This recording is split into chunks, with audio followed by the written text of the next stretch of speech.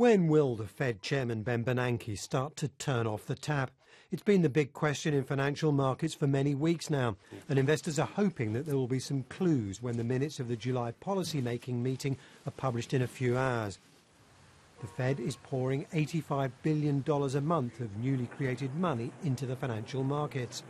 At some stage, as the US economy recovers, the Fed will start to curb that spending. Some economists think that could come as soon as next month. Just the possibility that it will be in the near future has already hit the markets. Share prices are off recent highs, borrowing costs for the US and many other governments have risen, and there's been a sell-off of emerging economies' currencies. India is a case in point. The country's stock exchange in Mumbai has suffered some sharp falls, and the currency, the rupee, has been hitting new lows against the dollar, aggravating the country's inflation problem.